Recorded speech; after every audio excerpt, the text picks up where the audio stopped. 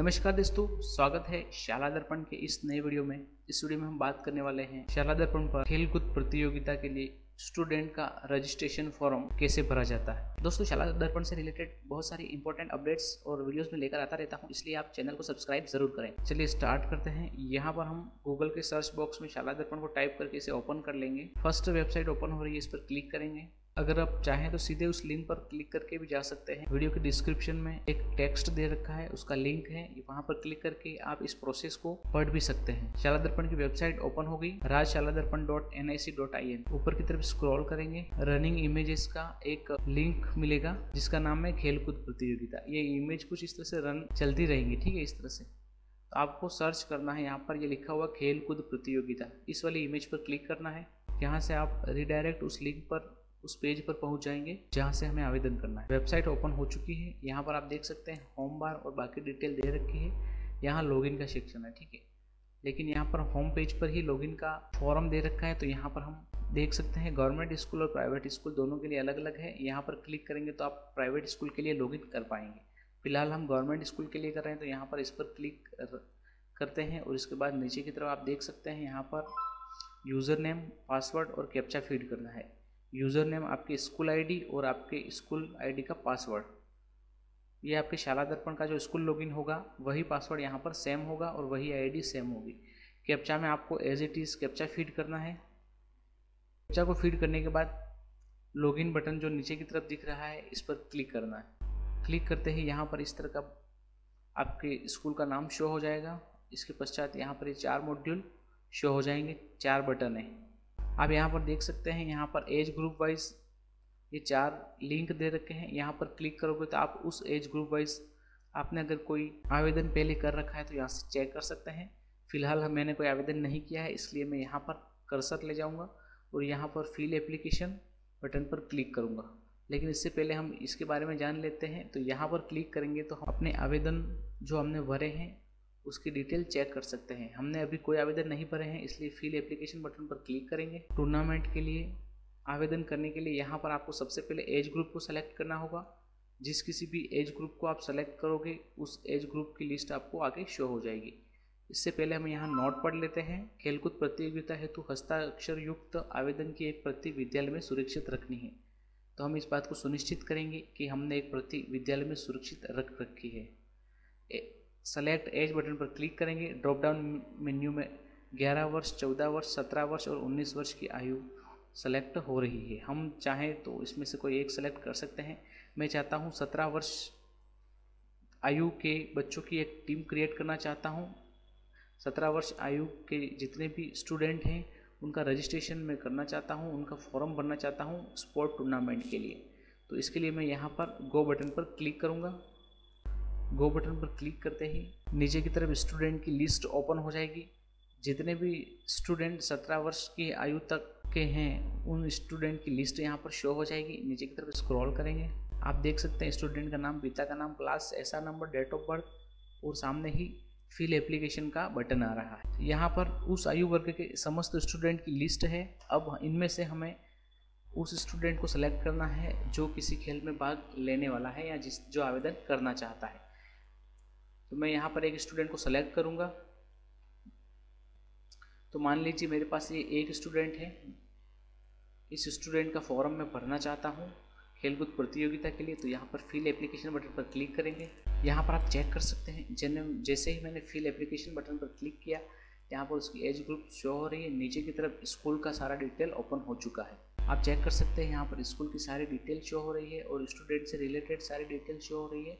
जिसमें स्टूडेंट का नाम और उसकी बाकी डिटेल शो हो रही है, जो कि हमारे प्रपत्र नौ से आ रखी है। अब हम नीचे की तरफ़ स्क्रॉल करेंगे और देखेंगे क्या कुछ डाटा अपडेट करना है। यहाँ पर ऊपर की तरफ़ कुछ डाटा ऐसा था जिसमें संशोधन नहीं किया जा सकता। अगर उसमें कोई संशोधन है तो हमें शाला दर्पण के स्कूल लॉगिन में प्रपत्र नौ में अपडेट करना होगा।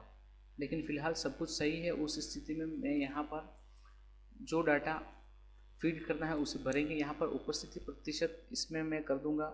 स्टूडेंट का जितने भी उपस्थिति रहती है उसकी यहाँ पर आ, संख्या लिखेंगे। परसेंटेज में प्रतिशत में है। दस बीस तीस चालीस ठीक है? इसके बाद दो निशान या शरीर पर कोई है तो यहाँ पर लिखना है ठीक है? मैं यहाँ पर एक लिख देता हूँ।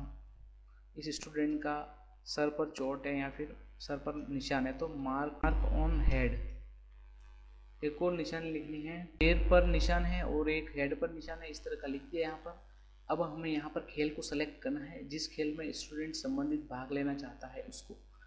ड्रॉप डाउन लिस्ट पर क्लिक करेंगे, यहाँ पर सारे खो की लिस्ट यहाँ पर ओपन हो जाएगी। तो जिस किसी के लिए भी आप आवेदन करना चाहते हैं, उस स्टूडेंट का खेल यहाँ पर सेलेक्ट कर लेना है। यहाँ पर सेपक टकरा है तो मैंने सेपक टकरा को सेलेक्ट कर लिया है। यहाँ पर आप देख सकते हैं इवेंट एवं मानदंड। रेगो इवेंट, डबल इवेंट, दोनों। ठीक है तो इसको सेलेक्ट करना है। मैं यहाँ पर दोनों को सेलेक्ट कर लेता हूँ। इसके बाद यहाँ पर क्या प्रतियोगी आवेदिक एथलेटिक्स इवेंट में भाग लेना चाहते हैं? अगर लेना चाहते हैं तो यस करना है अदरवाइज़ आप यहाँ पर नो भी कर सकते हैं। मैं यहाँ पर नो कर देता हूँ। अगर भाग लेना चाहता है तो यहाँ पर 100 मीटर की दौड़ में, यानी कौन सी दौड़ में, है ना? भाग लेना चाहता है, गोला फेंक में, उसको आप सेलेक्ट कर सकते हो। एथलेटिक्स के ये जो प्रतियोगिता यहाँ पर है, उनमें से आप किसी एक को सेलेक्ट कर सकते हो।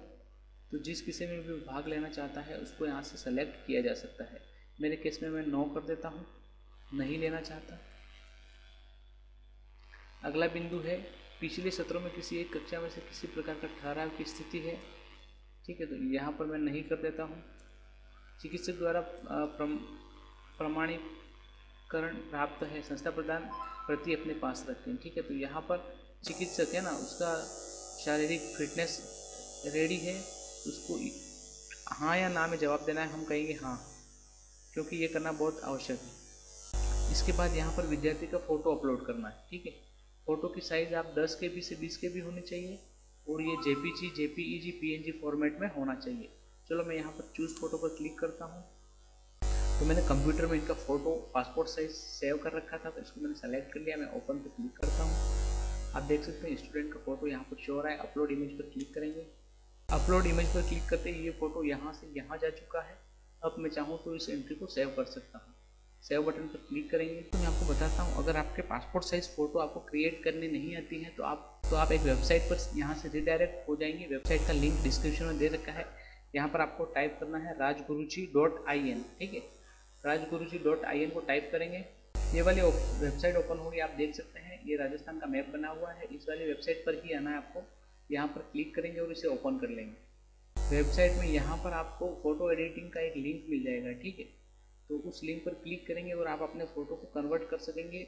उसकी एक्चुअल साइज़ में आपको बस फ़ोटो अपलोड करना होगा और उसे डाउनलोड कर, करोगे और सीधा उसको अपलोड करोगे आपकी वेबसाइट पर ठीक है?